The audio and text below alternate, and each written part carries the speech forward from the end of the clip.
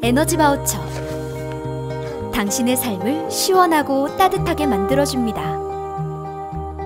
에너지 취약계층에게 전기, 도시가스, 지역 난방, 등유, LPG, 연탄을 지원해드려요. 국민 기초생활보장법에 따른 생계 또는 의료급여 수급자 중 노인, 장애인, 영유아, 임산부 등이 있는 가정은 신청 가능합니다. 여름은 시원하고 겨울은 따뜻하게 전국 읍면동 행정복지센터에서 지금 신청하세요.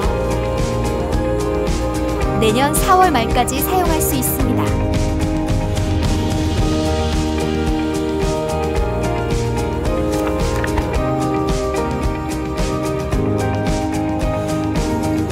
산업통상자원부와